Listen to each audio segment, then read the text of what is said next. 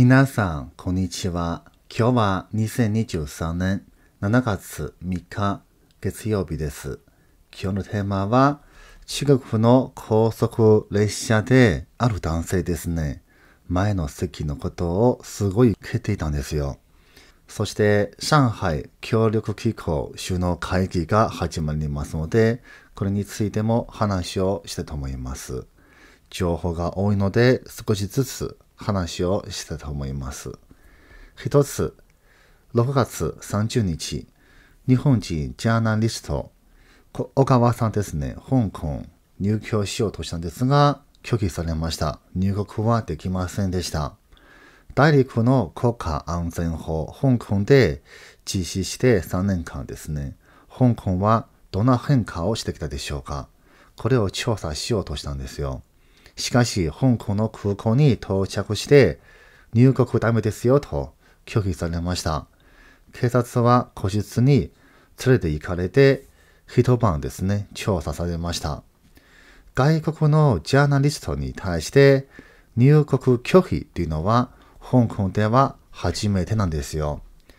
2019年、小川さんは香港に行って取材をしました。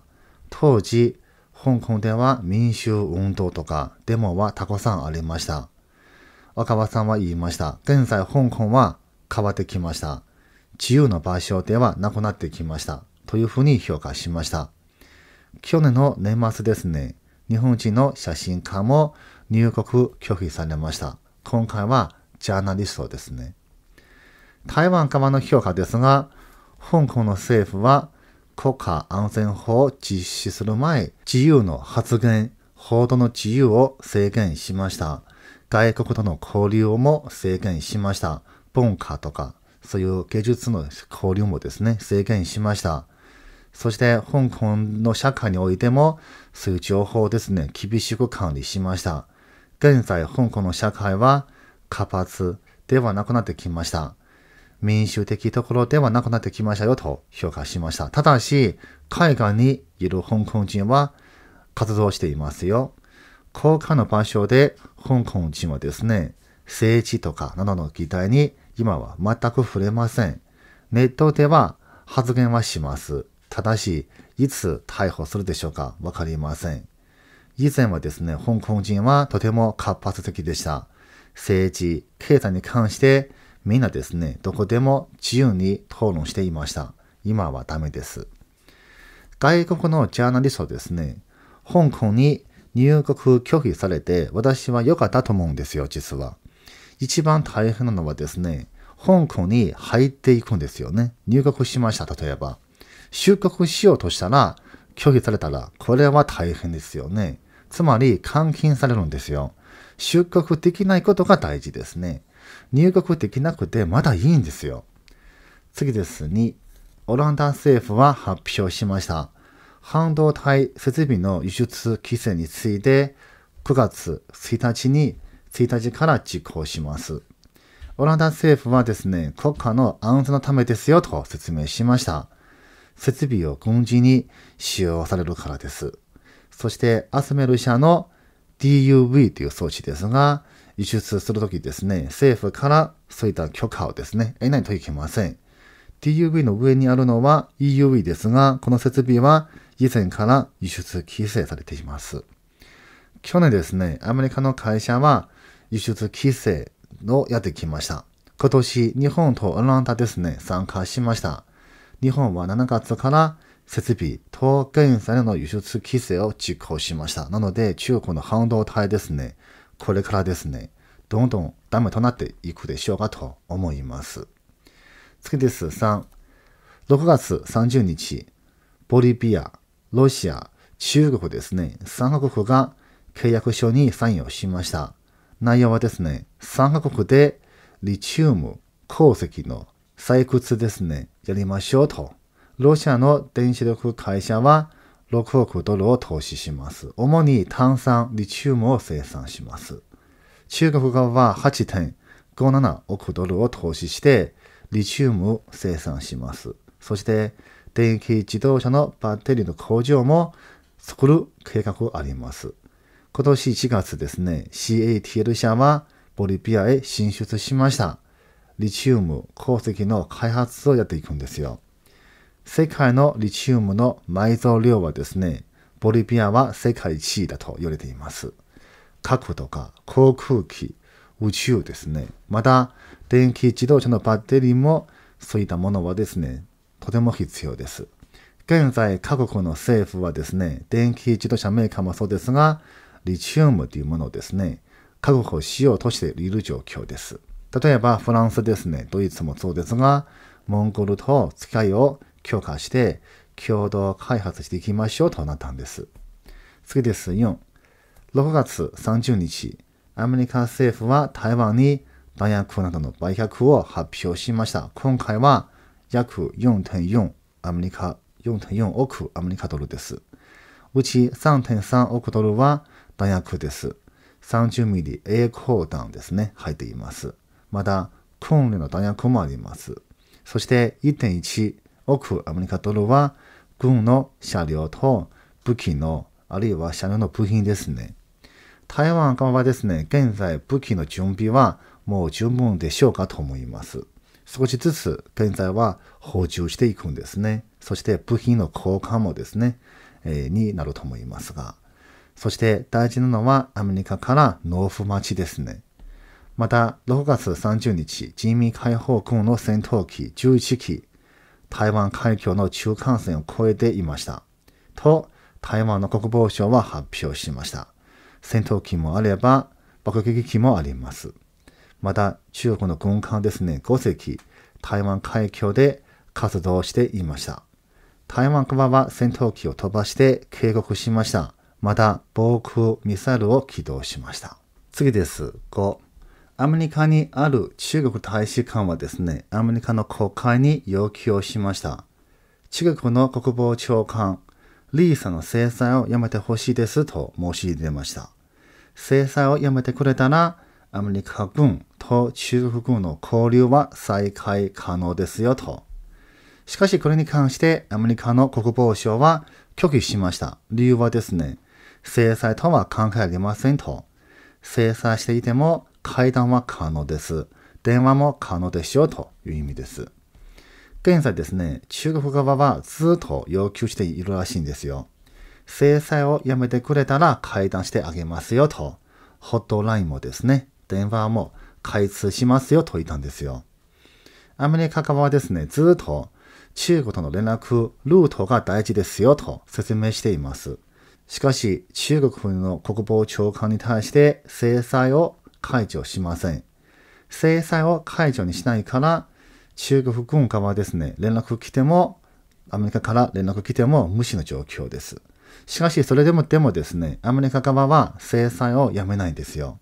つまり、アメリカ軍側はですね、本音としては、中国軍との連絡はしたくないんですよ。6月でしたが、シンガポールで開催された国防長官サミットありました。そして中国のリーさんですね。アメリカの国防長官オチティンさんですね。そこで会談ではないですが、簡単な挨拶ありました。アメリカのオチティンさんはですね、全く一つも発言はなかったんですよ。逆に中国のリーさんはすごいですね、挨拶していたんですよ。つまり、アメリカ側としては、交流のルートが大事です。ただし、話をしたいっていう気持ちは実にないんですよ。次です。6。インドとフィリピンですね。珍しく共同声明を出しました。南シナ海について2016年仲裁の結果に基づいて、これはですね、中国とは言いませんでしたが、中国の行動について批判しました。インドはですね、南シナ海での拡張、小を島にして、それから軍事基地にしていくことをですね、批判しました。インドはこういうような行動を出すのはですね、本当に珍しいんですよ。今までですね、インドは同盟しない国であり、そしてちょっとですね、ロシア派っていうイメージもあるんですよ。ただしですね、現在はアメリカ寄りとなってきました。6月28日、フィリピンの外務長官はですね、インドを訪問しました。両国の付き合いを強化しましょうとについて話をしました。南シナ海ですね、2013年フィリピンは国際裁判所に中国政府のことを提訴しました。2016年7月、国際裁判所はですね、中国政府の主張は違法ですよと、フィリピンに指示しますという判決を出しました。しかし、国際裁判所ですので、あくまで判決を出します。実行する組織はないんですよ。現在、中国はですね、南シナ海での活動は続いています。例えば、人工島ですね。さらに拡大していきます。これでですね、フィリピンの行政はですね、漁業ができなくなってしまうんですよ。次です。7。これは中国側の情報ですが、インドのモディ首相から要請がありました。7月8日、上海協力機構に参加する。でも、今回はオンラインでの参加となりますよと、習近平は参加します。上海協力機構ですね、2001年に設立しました。中国、ロシア、カザフスタン、キルギス、タジキスタン、ウズベキスタン、インドとパキスタンですね、入っています。そして、昨日ですが、イラン政府はですね、正式に参加するよと発表しました。そして今回もですね、参加します。今年ですね、インドは議長国となったんです。去年ですね、ウズベキスタンで開催しました。動画で話をしましたが、プーチンさんは参加したんですよ。習近平も参加しました。でも、習近平だけですね、ちょっと遅れていたんですよ。そして、みんなですね、パーティー、晩餐しましたけれども、習近平はですね、晩餐にも参加しませんでした。今年はですね、どうしてオンラインの形で開催するでしょうか？インド側ははっきり言わなかったんですよ。原因はですね、プーチンさんは国際裁判所に指名手配となっているんですよね。当然ですが、中国にもですね、これは実に都合いいんですよ。上海協力機構と言いますが、リーダーはですね、実はロシアなんですよ。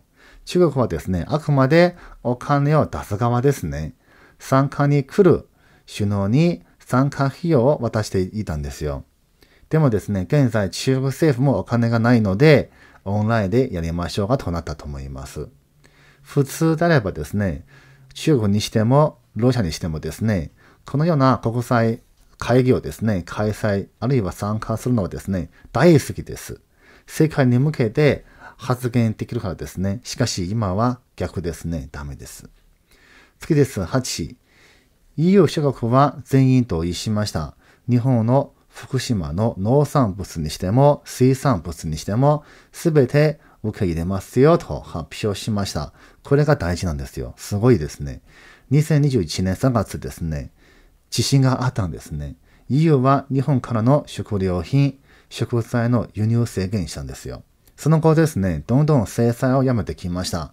最後ですね、福島地域だけに限定しました。現在ですね、福島でも問題ありませんよと発表しました。魚にしても、キノコにしても、タケノコにしてもですね、すべて問題ありませんと発表しました。アメリカはですね、2021年から福島のものは問題ありませんよと発表しました。輸入もいいですとなったんですよ。つまりですね、日本の食料品は実に問題ありません。魚も問題ありません。これでわかるのはですね、日本の食料の安全を批判する国はですね、まともな国ではないっていう意味です。次です。9。2022年、東京に行く観光客はですね、平均1人当たりの消費額は18万円なんですよ。約ですね。これは2019年より30%も増加しました。これはすごいですね。60%の観光客は東京都内ですので、渋谷、新宿、銀座に行きます。そして96%の方はですね、もう一回ですね、東京に行きたいというふうに答えています。去年3月ですね、日本は観光ですね、再開して、観光業はすごい活発となってきました。しかしですね、中国の観光客ですね、まだそこまで回復していません。そもそも今のところはですね、厳しい状態なんですよ。これでわかるのはですね、日本の観光は中国に依存することはないです。台湾もないんです。これがですね、みんな最初は勘違いするんですよね。中国の観光客が多いから、こういう観光するお金ですね、多いよね、というふうに思われていたんですよ。たくさんの国の人はですね、みんな思っているんですよ。イギリスにしても、アメリカにしても、フランスにしてもですね、みんな思っていたんですよ。でもですね、逆に中国は観光を制限する。あるいは中国自体がですね、飛行機があまり飛ばないし、鎖国ではないですが、少しずつですね、そういう風に向かっていくんですよ。そこでですね、みんな逆に気づいてきました。あれ、中国人はそこまで観光客来ないのに、でも問題ないよね、と気づいてくるんですよ。例えば台湾もそうですね。台湾は先週ですね、観光イベントを開催しようとしたんですよ。で、中国の政府も、そういう旅行会社の方ですね、みんな申請して台湾に渡航して参加しようとしたんですよ。博覧会ですね。観光博覧会です。しかし、台湾の政府はですね、ビザ発行しませんでした。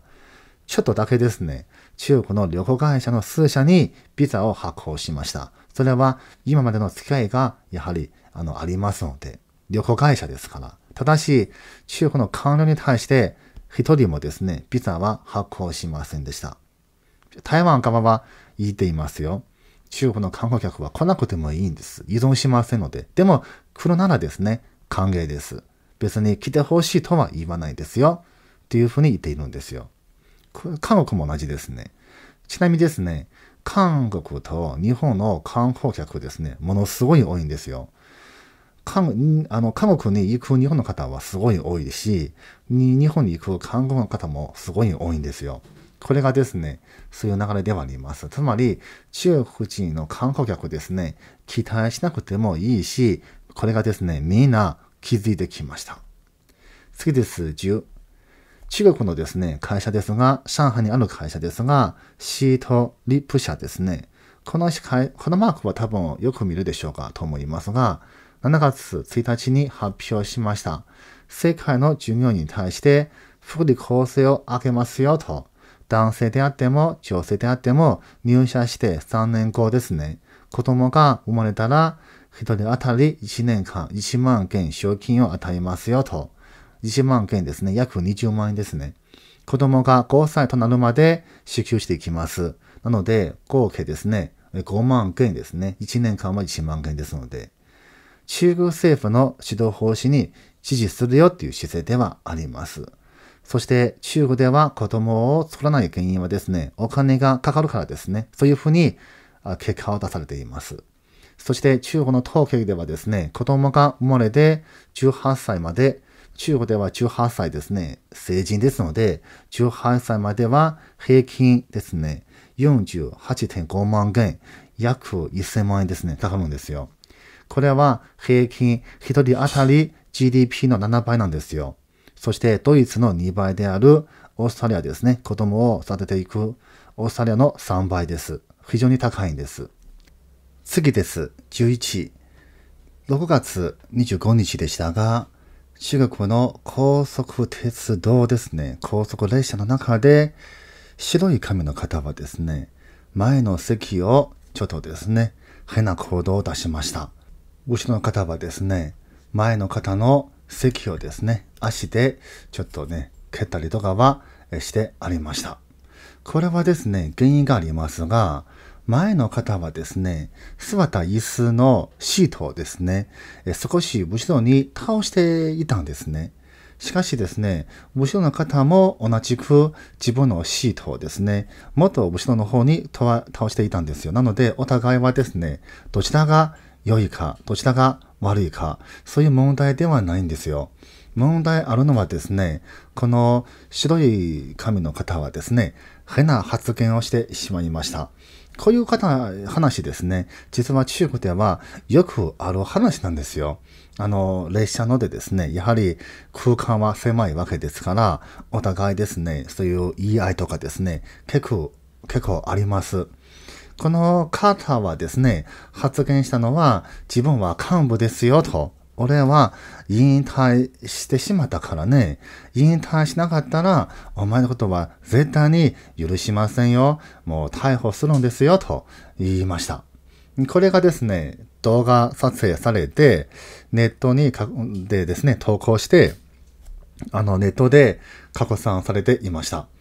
6月30日、えー、ネットではですね、この白い髪の方の情報ですね、公開されました。この方はですね、確かに幹部です。え、中国のですね、元検査庁の、え、幹部でした。しかしですね、次の日ですが、7月1日ですね、中国政府は否定しました。この方は普通の農民でしたよ。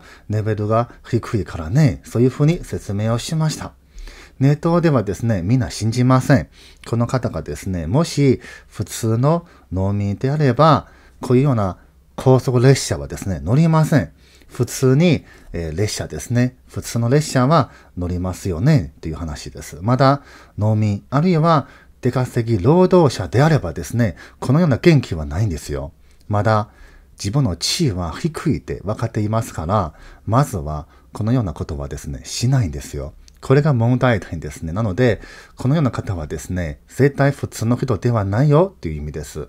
中国ではですね、引退した官僚であっても地位は高いんですよ。この若い男の方はですね、分かってると思うんですよ。なので、実際的にやはりそういうですね、対抗はしなかったと思います。でも、周りはですね、すごいみんなびっくりして、あの、止めたんですよね。そういうふうにしました。でも、これで分かるのはですね、中国ではそういう人はですね、本当にいるんですよ。特に東海の元幹部の方はですね、すごい強いんですよ。まあ、それが中国の社会ではありますが。次です。12。こちらはですね、観光地の地域ではありますが、暗記書の観光スポットがあります。ドラゴンですね。ドラゴン、湖大橋と言います。これは湖の上にですね、浮いてる橋ではあります。しかしですね、最近すごい寂しい工事されていますと言っています。これはですね、柵をですね、作っているんですよ。つまりですね、この橋から風景ですね、景色見えないようにしているんですよ。橋で散歩する人が多いんですね。夜景を見たりするんですよ。しかしですね、この柵はですね、作っててもいいんですが、人が見えないですね。あの、目が見えない方はですね、実はですね、この、この線ですね、ここにあるんですよ、実は。それもですね、柵の中に入ってしまうんですよ。実はですね、内容がありますが、この橋の両サイド、陸で音楽のイベントを開催します。無料で見られたら困るっていう意味で、それを判断して政府はですね、橋から見えないようにしたんですよ。それで工事をしました。でも政府は言いました。あの、あの橋のですね、あの、飛ぶ人いるかもしれませんので、安全のことを考えて政策を作りますというふうになりました。でもこれは誰も信じません。やはりこのイベントのためですね、作るたためにこの策をですね、作っているというふうに思います。現在ですね、中国の各地域で観光地ですが、例えばこの観光地ですね、A スポットですね、C、B スポットですね、見えるんですよ。そうするとですね、見えないようにするのが中国政府ですね、今すごいやっています。やはり、それがですね、もし見えてしまうと、入場料ですね、取れなくなってしまうんですよ。やはり入場料が大事ですね。なので、各地域ではですね、あの、そういう風景ですね、見えないようにしようとしているのが今の現状ではあります。また、中国の社会について皆さんに話をしたいと思います。この動画はここまでにしたいと思います。最後、いいのボタンをお願いいたします。ありがとうございました。